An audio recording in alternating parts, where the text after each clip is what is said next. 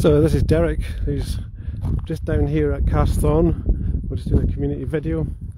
So I just thought I'd take a couple of minutes out just to show you how stunning Carsethorn is looking today. Quite a few people going about. So I'll just give you a quick view from this garden here, which has allowed me just to come on and film from. Quite stunning. also, I'll walk down to the pier which is one of the reasons we're here filming. I'll just take time out just to show you that as well. So.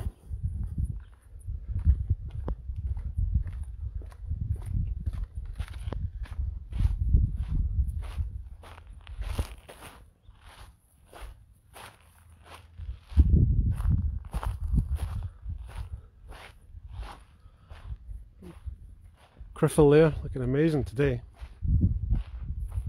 You can see right across there to the onto the English side of the Solway Firth.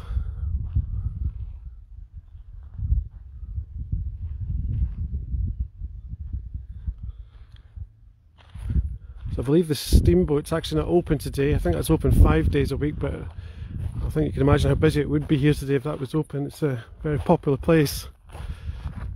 There we go, Carsethorn and sunshine.